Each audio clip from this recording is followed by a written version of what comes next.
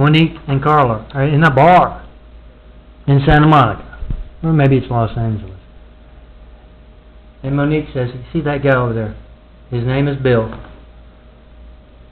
He is worth millions. I'm gonna go over there and win him over." And Carla says, "Oh, don't waste your time. He got whacked last month." And Monique says, "Oh, you don't know.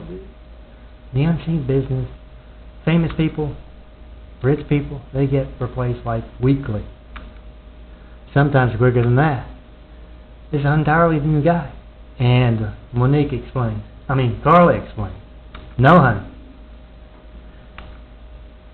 They've been taking part in the one and only Stone Cold John Melton Brady's religious censorship and isolation in LA here for four years. They've started to earn character whacking.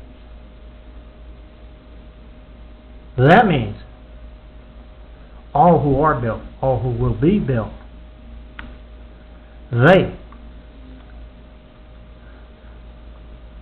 all will be missing that thing. And Monique, she she says, "Well, it doesn't matter. I've got I've got my boyfriend. I can have him on the side, and I'll have uh, Bill's money."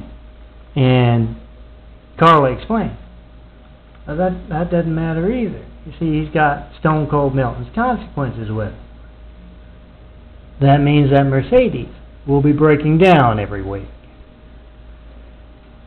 and that per Cody gets you, it will be shedding, and both of you will be taking more trips to the doctor and hospital and all kinds of bad luck. You know how that goes. And uh Monique kind of settles back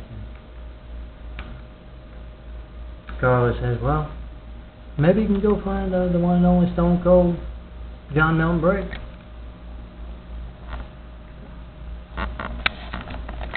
Well, is he a hot one?